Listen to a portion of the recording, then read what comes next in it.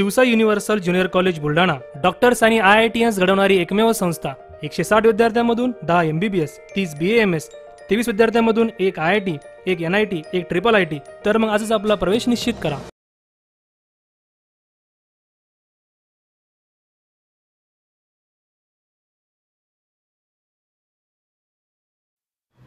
कंटेनरने दुचाकीला धडक दिल्याने एक जण जागीच ठार तर एक गंभीर जखमी. अकोल्यावरून खामगावकडे जाणाऱ्या एका मालवाहू कंटेनरने समोरून येणाऱ्या दुचाकीला जबर धडक दिली. या अपघातात मोटरसायकलवर मागे बसलेला अठरा वर्षीय युवक जागीच ठार झाला. तर मोटरसायकल चालक हा गंभीररित्या जखमी झाल्याची घटना आज सकाळी घडली आहे.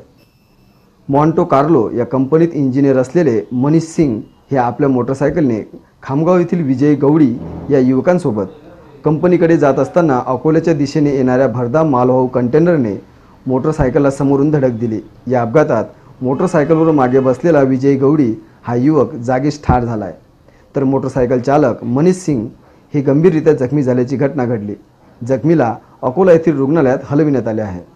बुलढाणा जिल्ह्यातील सर्व महत्त्वाच्या घटना व घडामोडी पाहण्यासाठी बीसीसीएन न्यूज बुलढाणा या युट्यूब चॅनलला तुम्ही सबस्क्राईब केलं नसेल तर लगेच जाऊन सबस्क्राईब करा व आमच्या फेसबुक पेजला लाईक व फॉलो करा. आणि हो बेल आयकॉन दाबायला विसरू नका. पाहत रहा बीसीसीएन न्यूज चोवीस वर्षे विश्वासाची.